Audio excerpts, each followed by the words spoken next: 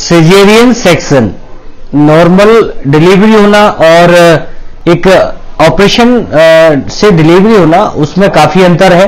तो दोस्तों, आप ऑपरेशन से बचने के लिए आप क्या टिप्स कर सकते हैं? और ऑपरेशन से बचने के लिए हमें कौन कौन से ऐसे टिप्स अपनाने चाहिए, जो प्रेगनेंसी के दौरान हम कर सकते हैं? और उन टिप्सों को अपनाने के बाद हम नॉर्मल डिलीवरी भी हमारी हो सकती है।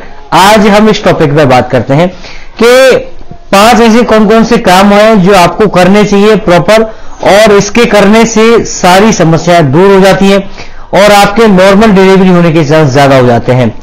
इसके पीछे दोस्तों एक सबसे बड़ी बहस होती है, इसके पीछे बहस है कि जिन गर्भवती महिलाओं के गर्भावस्था के दौरान, गर्भवती महिलाओं के गर्भावस्था के दौरान खान पीन और लाइफस्टाइल का चेंजेस होता है खान पीन बहुत ज़्यादा अहम रखता है। या बहुत ज़्यादा दिक्कत क्या होता है कि महिलाएँ दर्द नहीं सह सकती हैं। लेबर पेन जो बोलते हैं वो बचने के लिए ऑपरेशन करा लेती हैं। तो ऑपरेशन का सहारा लेती हैं।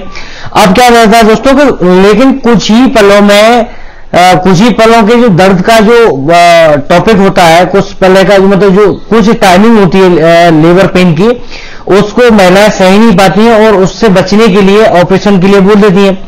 अच्छा आपको क्या है कि उस परेशानियों को सही करने के लिए या उस तरह की आपको परेशानियों से प्रैक्टिस करने के लिए तो आपको क्या है दोस्तों कि किस तरह से प्रोकोशन करना है? आज वो बताएँगे कि नॉर्मल डिलीवरी के लिए आपको क्या बेनिफिट्स मिल सकते हैं। सबसे पहले बात करते हैं कि दोस्तों, आप जब भी आपकी प्रेगनेंसी रहती है प्रेगनेंसी के दौरान आप बुक्स का इस्तेमाल करते हैं, जैसे बुक आती है और बुक रहती है तो बुक्स में क्या है दोस्तों आपको प्रेगनेंसी की बहुत सारी टिप्स ऐसी मिल जाती है। प्रेगनेंसी नॉर्मल डिलीवरी कैसे होती है सीज़न कैसे होता है और उसके साथ साथ क्या है दोस्तों आपको जो आ, बहुत सारी चीज़ें देखने को मिलती है जैसे आपको प्रोकॉशन कैसे बरतना है। तो आप एक लेबर से संबंधित आप बुक्स का इस्तेमाल लिखते हैं तो उससे संबंधित आपकी जितनी भी प्रॉब्लम होती है, आपके कंसल्टेंसी लेके होती है डाइट को लेके होता है, या इससे संबंधित और भी कोई प्रॉब्लम रहती है तो आप उस स्थिति को प्रॉपर ध्यान में रखते हुए उस चीज़ को देख सकती हैं।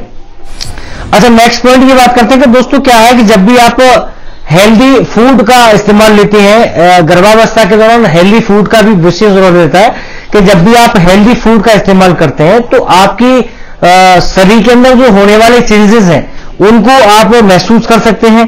साथ ही साथ में जो डिलीवरी से मज़बूत डिलीवरी जब होती है डिलीवरी के समय बॉडी में मजबूती लाने के लिए आपको कुछ स्पेशल डाइट लेनी होती है बॉडी को मेंटेन करने के लिए। और साथ ही साथ में क्या दोस्तों, जब भी आप ऐसी आपके सामने सिचुएशन आती है कि आपकी नॉर्मल डिलीवरी होने के चांस है तो आप उस तरह से ओवर डाइटिंग नहीं ले सकते हैं। प्रॉपर आप डाइटिंग में रह के अपनी बॉडी को मेंटेन करके आप अच्छी तरह से, अच्छी वाली डाइट अच्छी तरह से ले सकते हैं।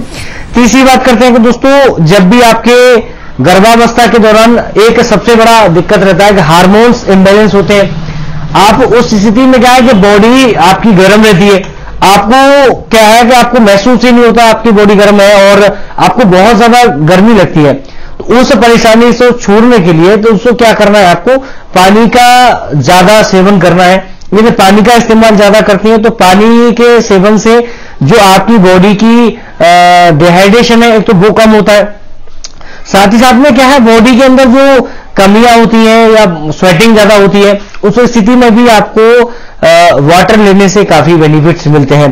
साथ ही साथ में दोस्तों आप चौथे पॉइंट की बात करते हैं कि जब भी आपके प्रेगनेंसी के दौरान बोलते हैं कि भ्रम होता है कि हिलना डुलना नहीं चाहिए या टहलना नहीं चाहिए वॉक नहीं करना चाहिए।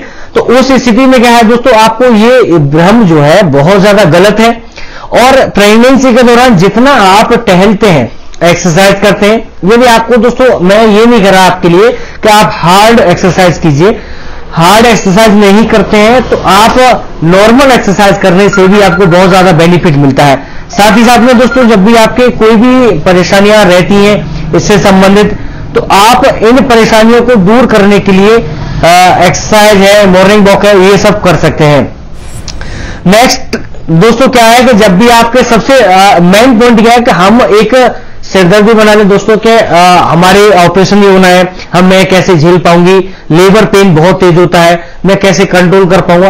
तो ये सब प्रॉब्लम एक मानसिक संतुलन को मैनेज करने के लिए सब किया जाता है। जब तक आप मानसिक संतुलन को प्रॉपर बना के नहीं रख सकते जब तक आप मानसिक संतुलन को पूरी तरह से प्रिपेयर नहीं करेंगे कि हमारे नॉर्मल डिलीवरी होने के चांसेस ज़्यादा रहते हैं? तो आप उस परेशानी को कैसे प्रॉब्लम फेस कर पाएँगे? तो दोस्तों, मेरा यही कहना है, मैंने जो आपको पाँच टिप्स बताए हैं कि इसमें नॉर्मल डिलीवरी होने के चांस ज़्यादा हो जाते हैं। इस टिप्सों को यदि अपनाते हैं तो दोस्तों, यदि आपको मेरी वीडियो पसंद आई है तो चैनल को सब्सक्राइब कीजिएगा। चैनल को सब्सक्राइब करते समय बेल आइकन को ज़रूर दबाइएगा। और इससे संबंधित और भी वीडियोज़ आपको आई बटन में देखने को मिलेंगी। और कोई भी क्वेश्चन रहता है नॉर्मल डिलीवरी से संबंधित या आपका इससे संबंधित तो आप क्वेश्चन बेझिझक पूछ सकते हैं। धन्यवाद दोस्तों। जय हिंद। वंदे मातरम।